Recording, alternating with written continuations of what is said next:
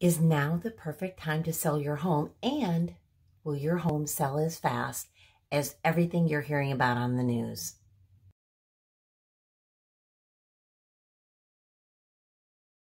Hey, before we get started, hit subscribe. We'd love for you to get notifications of all of our new videos.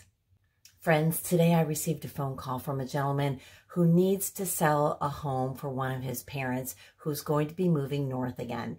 And he was calling a couple agents and I was one of them. And he said, well, you know, I'm going to do a little phone interview. I need you to tell me, uh, you know, what it is that you can do for me that anybody else can't do. Um, almost like uh, dazzle me. Um, and here's what happens when I get phone calls like that. A lot of folks don't have context, number one, on what's going on with the market. But I also don't know what it is that they're really looking for or what type of property it is to sell before I can even make an educated guess. So I finally did get um, a little bit of information from him about the property. And what I did find out is it is in a particular neighborhood that, you know, things are moving, things are selling, but we're in this really odd space right now. Here we are in 2021 and Easter is next week and we don't know what's going to happen after Easter. And as I explained to him, we are in magic eight ball territory. Remember the magic eight balls? He used to shake them. Uh, looks cloudy, unfamiliar, check back later. All these, you know, vague answers it would give you. Well, you know, the stock market doesn't make sense. Real estate doesn't make sense. Interest rates don't make sense.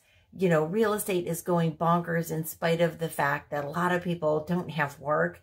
So it's really hard for us to project what our traffic is going to be like after Easter this year. And part of that is because we've had a lot of people that just walked away from their state and their states really aren't open yet. So we don't know if they're going to return after Easter. It used to be as soon as Easter came, we saw all the shutters going down on uh, the the buildings.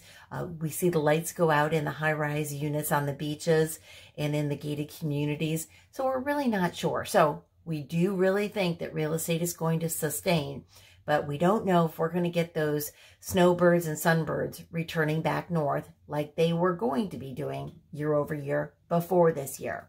So all that being said, I had a lovely talk with this gentleman.